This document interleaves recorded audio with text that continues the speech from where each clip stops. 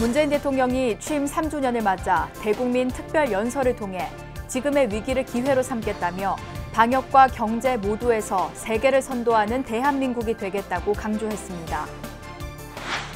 도심 속 수행결사의 새로운 모델을 제시한 위례 상월선언의 천막결사 정신을 잇는 특별한 템플스테이가 서울을 대표하는 천년고찰 수국사에서 열렸습니다. 동학 농민혁명이 일어난 지 오늘로 126주년을 맞았습니다. 오늘날 촛불 정신으로 이어진 동학혁명의 의의와 불교 사상과의 공통점은 무엇인지 짚어봤습니다. 중부권 최대 불교 교육도량 천안 태조산 각원사가 부처님 오신 날과 계산 44주년을 맞아 청동대부를 씻겨드리는 목욕의식 대법회를 봉행했습니다. 진각종 종조이자 한국 밀교의 중흥조인 회당 대종사의 118주년 탄생절을 맞아 기념불사가 봉행됐습니다.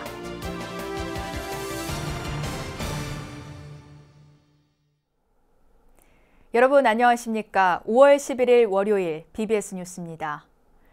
문재인 대통령이 취임 3주년을 맞아 대국민 특별 연설을 통해 지금의 위기를 기회로 삼겠다며 방역과 경제 모두에서 세계를 선도하는 대한민국이 되겠다고 강조했습니다.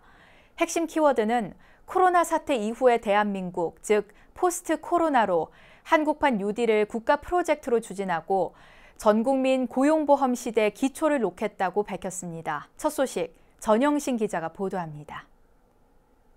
국민 여러분, 저는 남은 임기 동안 국민과 함께 국난 극복에 매진하면서 위기를 기회로 바꾸는데 전력을 다하겠습니다. 세계를 선도하는 대한민국의 길을 열어 나가겠습니다. 취임 3주년을 맞은 문재인 대통령이 특별 연설을 통해 방역과 경제 모두에서 세계를 선도하는 모범 국가로 자리매김하겠다며 포스트 코로나 시대에 대한 구상을 공개했습니다. 먼저 전 국민 고용보험 시대에 기초를 놓겠다며 고용보험 대상의 단계적 확대를 약속했습니다. 모든 취업자가 고용보험 혜택을 받는 전 국민 고용보험 시대의 기초를 놓겠습니다. 아울러 한국형 실업 부조 제도인 국민 취업 지원 제도를 시행해 고용 안전망 수준을 한 단계 높이겠다며 국회가 관련 입법을 서둘러 달라고 호소했습니다. 고용보험이 1차 고용 안전망이라면 국민 취업 지원 제도는 2차 고용 안전망입니다. 국회에 이미 법이 제출되어 있습니다. 국회가 조속히 처리해 주시길 바랍니다. 일자리 창출을 위한 한국판 뉴딜을 국가 프로젝트로 추진하겠다며 ICT와 바이오, 비대면 서비스 등 핵심 산업을 육성하겠다고도 설명했습니다. 정부는 경제 위기 극복에 모든 역량을 집중하겠습니다. 벼랑 끝에선 국민의 손을 잡겠습니다. 국민의 삶과 일자리를 지키는 버팀목이 되겠습니다. 이와 함께 질병관리본부를 질병관리청으로 승격해 전문성과 독립성을 강화하겠다고 밝혔습니다. 문 대통령은 또 재난과 질병, 환경 문제 등 안전을 위협하는 모든 요인에 대처하는 인간 안보의 개념을 제시하고 국제연대와 협력을 선도해 나가겠다고 강조하며 남과 북도 생명, 평화 공동체로 나아가길 희망한다고 말했습니다. 임기 4년차를 맞는 문재인 대통령, 높은 국정 지지율에다 여당의 총선 압승까지 더해져 그 어느 때보다 힘있게 집권 후반기를 이끌어갈 여건이 마련됐다는 평가가 나옵니다. 하지만 코로나19 사태가 촉발한 수두룩한 난제들을 감안하면 어깨가 무거운 후반기가 될 것이란 관측도 적지 않습니다. 코로나19 사태 이후에 대한민국, 즉 포스트 코로나 구상과 실행력에 국민적 관심이 쏠리는 이유입니다. 청와대에서 BBS 뉴스 전영신입니다.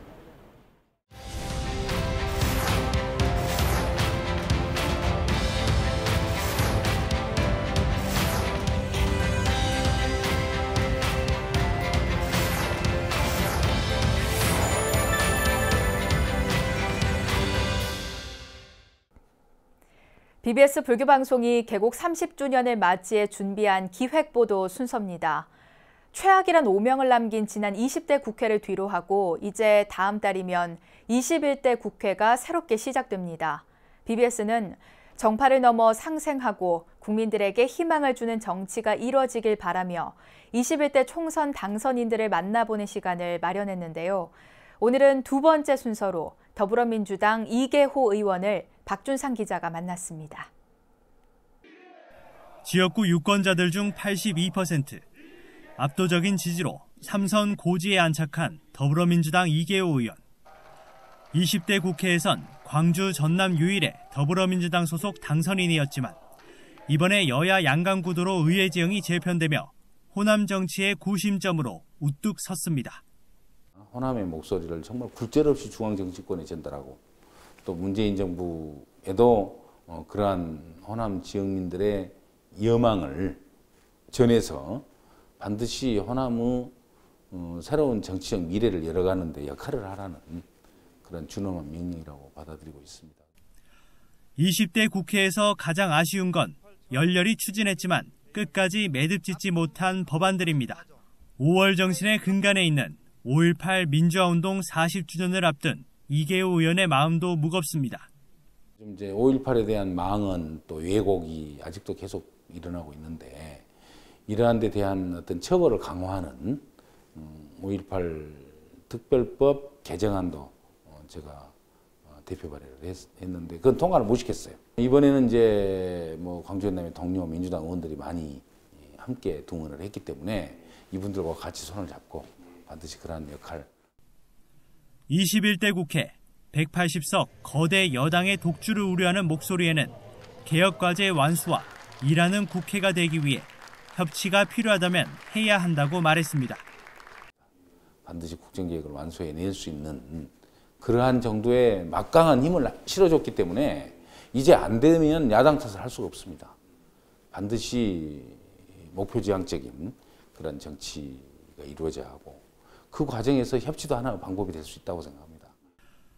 특히 이 의원은 여야 상생 사례로 FTA 영향으로 농가의 침체를 막기 위한 농어촌 상생협력 기금 마련과 세월호 선체조사 특별법을 통과시킨 경험을 꼽았습니다. 사무실에 걸어둔 반야신경의 핵심을 관통하는 어구, 진실 불어처럼 결국 진실은 허하지 않고 마음에 가닿는 힘이 있다고 말합니다.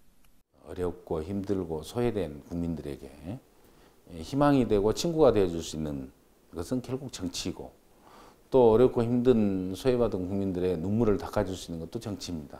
뭐 가슴 따뜻한 정치, 뭐 그건 제 정치 철학이기 때문에 제가 정치하는 동안 변함없이 꾸준히 해야 될 과제다 이렇게 생각하고 최선을 다하겠습니다. 여대 야수 국면에서 이제 여당은 대부분 쟁점 법안을 단독으로 처리할 수 있게 됐지만 국정 운영의 동반자로서 야당을 존중해야 할 책무도 갖고 있습니다. 21대 국회 대치가 아닌 협치, 각자 도생이 아닌 상생 협력의 정치를 기대해 봅니다. BBS 뉴스 박준상입니다. 국회 정각회 명예회장인 주호영 미래통합당 원내대표에 붙인 주구원홍이 지난 9일 별세한 가운데 빈소가 마련된 대구 경북대병원 장례식장에는 불교계 등 각계 인사들의 조문이 이어졌습니다. 특히 팔공총림 동화사 주지 능종 스님과 통도사 주지 현문 스님, 대구 BBS 사장 법일 스님 등 불교계 주요 스님과 신행단체장들이 대거 빈소를 찾아 극락광생을 기원했습니다. 또 조계종 종정 진제 대종사는 조화를 보내 주 원내대표를 위로했습니다. 발의는 내일이며 장지는 경북 울진군 울진읍 음남리 선영입니다. 도심 속 수행 결사의 새로운 모델을 제시한 위례 상월 선원의 천막 결사 정신을 잇는 특별한 템플스테이가 마련됐습니다. 참가자들은 상월 선원 동안거 천막 정진과 마찬가지로 텐트를 치고 나홀로 수행에 매진했습니다. 서울을 대표하는 천년고찰 수국사에서 열린 상월 무건 템플스테이 현장 전경윤 기자가 소개합니다. 사찰 전각 주위에 둘러앉은 수행자들이 허리를 꼿꼿이 세운 채 좌선에 몰두합니다. 엄지 손가락을 맞대고 두 눈을 감은 모습에서는 진지함이 한가득 묻어납니다. 한국 불교를 대표하는 선사 송담 스님의 육성 법문을 들으면서 숨을 들이쉬고 뇌시는 호흡에만 집중하는 순간 마음이 한층 차분해지는 것을 온몸으로 느낍니다. 좌선에 이어 걷기 명상 시간, 스님과 불자들은 사찰 경례를 걸으며 몸과 마음을 편안하게 내려놓았습니다. 서울 서북부 지역을 대표하는 천년고찰 은평구 수국사에서 특별한 템플 스테이가 마련됐습니다. 지난 겨울 위례 신도시 상월 선언에서 펼쳐진 한국 불교 사상 유례가 없었던 동안거 천막결사의 정신을 대중들과 함께 나누기 위한 상월 무건 템플 스테이. 윤성희 동국대 총장을 비롯한 동국대 교직원들은 상월 선언 수행자들처럼 1인용 텐트에서 2박 3일간 오로지 좌선과 명상, 무건 수행에 몰두했습니다. 참가자들은 팔각정 형태의 수국사 삼성각 주위에 설치된 9개 텐트에서 생활하면서 일체 말하지 않고 하루 한 끼 식사와 소량의 간식만 주어지는 프로그램을 소화했습니다. 대한민국과 세계적으로 코로나19 때문에 힘들잖아요. 그래서 공동체 속에서 홀로 서기를 어떻게 할 것인가 그런 수행 방법을 한번 사찰해서 또 상원선에서 공부했던 것처럼 익혀보자 해서 하게 되었습니다. 이번 템플스테이에는 수국사 주지이자 상월선언 천막결사에 직접 참여했던 호산 스님이 함께하면서 직접 수행 지도에도 나서 의미를 더했습니다. 수국사는 코로나19에 따른 생활 속 거리 두기 지침에 따라 참가자들 간의 간격을 철저히 유지하는 등 안전 조치에도 만전을 기했습니다. 서울 수국사가 마련한 상월 무건 템플스테이는 오는 15일부터 2박 3일간 한 차례 더 진행될 예정입니다. 아홉 분의 스님들 본받아 일반 제가자 분들 또 더 나아가 어, 불교에 관심 있는 분들 또 문화적으로 생각이 있으신 분들 다 모두 다 참석해서 상월선언의 약 수행을 본받아서 공부했으면 좋겠습니다. 이번 템플스테이는 위례 신도시 상월선언 천막결사의 정신을 대중 속에서 되살리고 코로나19로 지친 몸과 마음에 치유의 에너지를 불어넣어주는 기회가 됐습니다. BBS 뉴스 정경민입니다. 서울 조계사가 5월 두 번째 일요법회를 봉행하고 코로나19 극복을 발언하는 기도정진을 이어갔습니다. 조계사 일요법회에서는 조계종 교육원장 진우 스님이 법사로 나서 조계사를 찾은 불자와 신도들에게 인간의 과보로 인한 걱정과 근심, 분별심과 업장을 소멸하기 위한 정진 자세에 대해 설했습니다.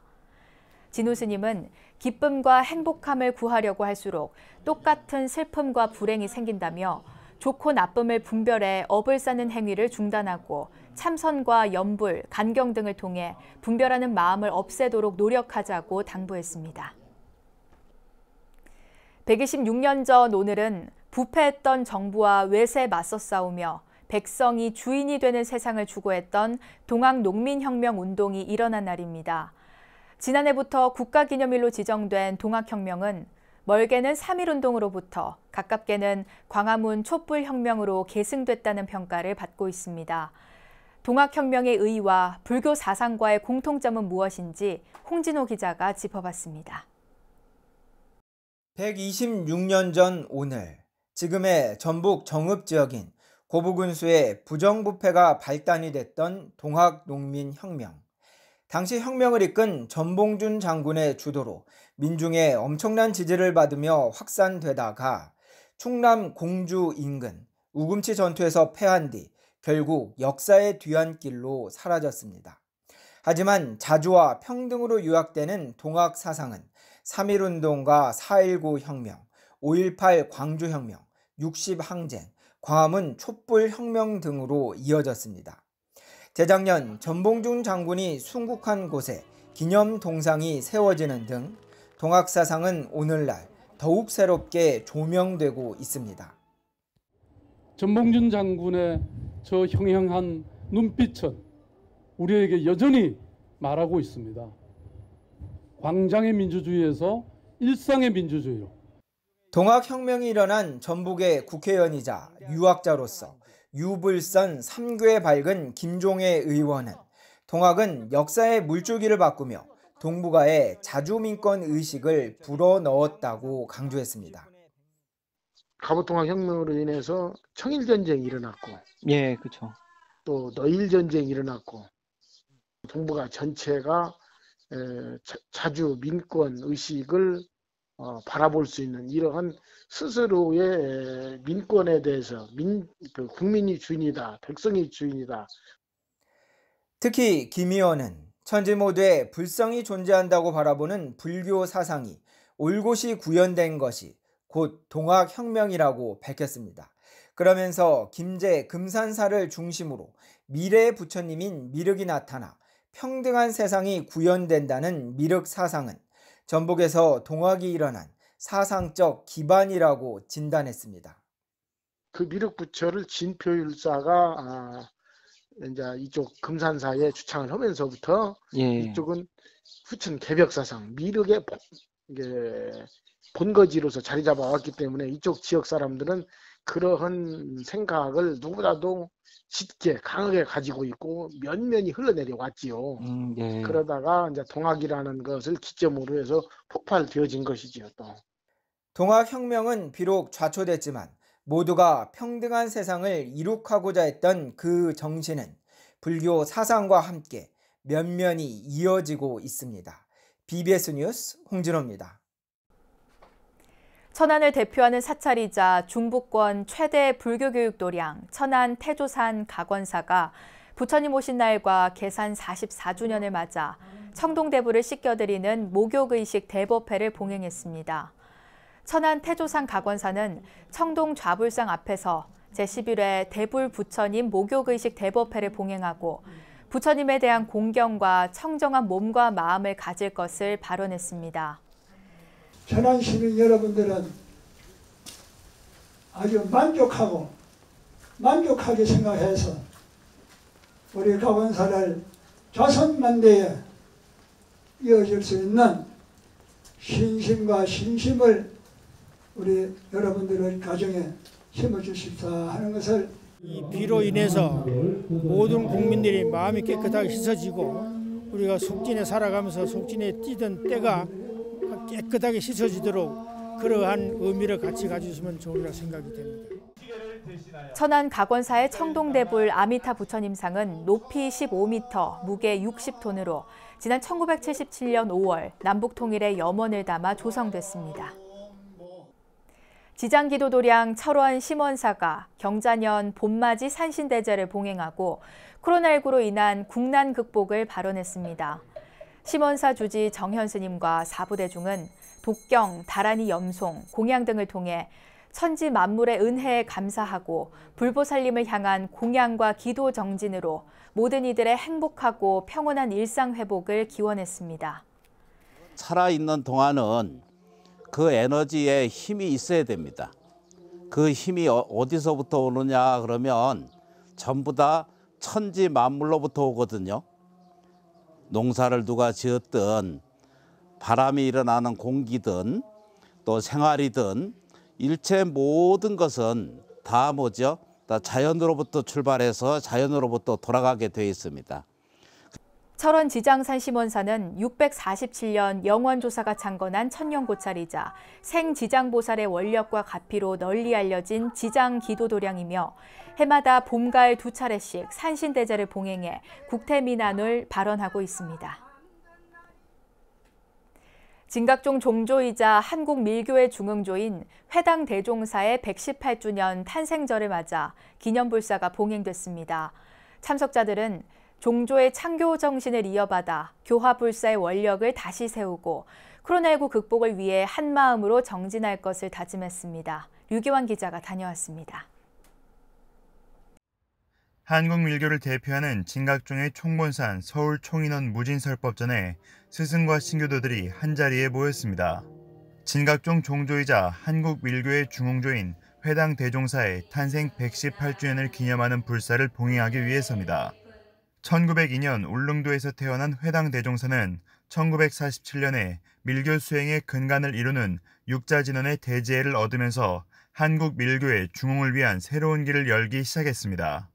스승과 신교도들은 종조 법어를 봉독하며 생활불교, 실천불교를 앞세운 회당 대종사의 생전 가르침과 창교 정신을 되새기고 수행 정진에 매진할 것을 다짐했습니다. 육자진원 염송하면 비로자나 부처님이 항상 비밀 한가운데 모든 법을 설하여서 무량하고 미묘한 뜻 자증하게 함이니라. 교수는 심덕의 대원이요 백행의 근본이며 불행의 으뜸이 되는 것이니라. 종조 탄생절 기념불사는 코로나19로 인한 생활 속 거리두기 지침에 따라 진각종 총인 경정정사를 비롯해 통리원장 회성정사, 서울교구 스승 일부만 참석한 가운데 간소하게 봉행됐습니다. 통리원장 회성 정사는 이러한 시기일수록 근본 서원을 쫓고 시대에 맞는 교화 방편을 찾아 밀엄정토 구현에 매진해야 한다고 당부했습니다. 우리는 이러한 때일수록 근본 서원을 쫓아 참여하고 수행하는 고삐를 다잡으면서 새로운 길을 모색해야 하겠습니다. 시대에 맞는 교화 방편을 찾아 현실을 정화하고 미름 정토를 성취하기 위한 정진에 매진해야 할 것입니다. 참석자들은 이와 함께 코로나19로 고통받는 어려운 이웃들의 일상이 하루빨리 제자리를 되찾고 병마와 싸우는 모든 이들의 쾌유를 서원했습니다. 진각종 스승과 신교도들은 종조의 창교 정신을 되새기고 참회와 수행의 마음을 한데 모아 코로나19 극복을 위해 더욱 정진할 것을 발언했습니다. 서울 진각종 총인원에서 PBS 뉴스 류기아입니다. 이어서 꼭 짚어봐야 될 공감 뉴스들을 모아봤습니다. 오늘의 알찬 뉴스입니다.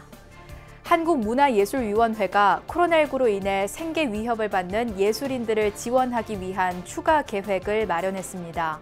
예술인은 문화예술진흥기금 적립금을 활용해 예술계 피해를 복구하고 공연 시장을 활성화하기 위한 지원금 총 351억 5천만 원을 긴급 편성했다고 밝혔습니다. 문화재청은 문화유산 콘텐츠 250만여 건을 제공하는 국가 문화유산 포털의 문화재 정보 접근성과 검색 방식 등을 개선해 시행에 들어갔다고 밝혔습니다. 먼저 첫 화면에서 문화재 통합 검색은 물론 문화재 종목별, 지역별, 조건 검색이 가능하도록 했고 조건 검색에선 문화재 명칭과 종목, 지정 번호, 지정 연도, 지역을 설정해 문화재를 찾을 수 있습니다.